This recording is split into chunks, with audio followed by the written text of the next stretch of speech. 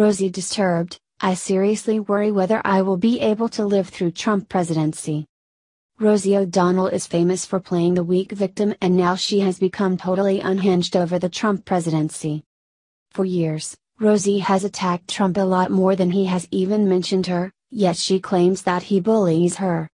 In actuality, he has always responded to the attacks by Rosie. I have raised children. It is a classic child's antic to start a fight and then claim victim after the antagonizing gets a response. While I do not like it when Trump goes off on people, this is clearly bad behavior on the part of Rosie. She was recently interviewed for W Magazine and claims that she worries she won't even make it though a Trump presidency. That is so weak.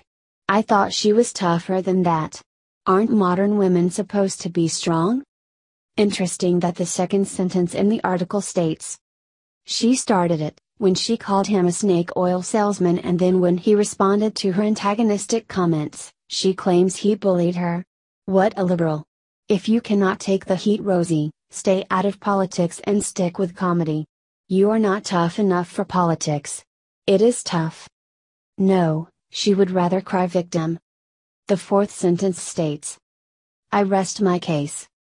She concludes the interview with the following Again, it is a defeatist victim attitude.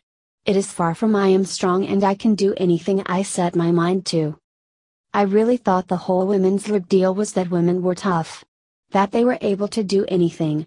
Rosie embodies the opposite. She embodies weakness. It is so sad, the victim mentality. Mentality.